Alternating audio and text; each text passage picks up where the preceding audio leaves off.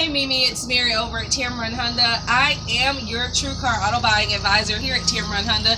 Now, we do have that gunmetal EXL that you inquired about online. It's right here standing next, next to me. You'll have a beautiful gunmetal finish. Gives you a blue undertone along with a gray or purple depending on which way the sun hits it.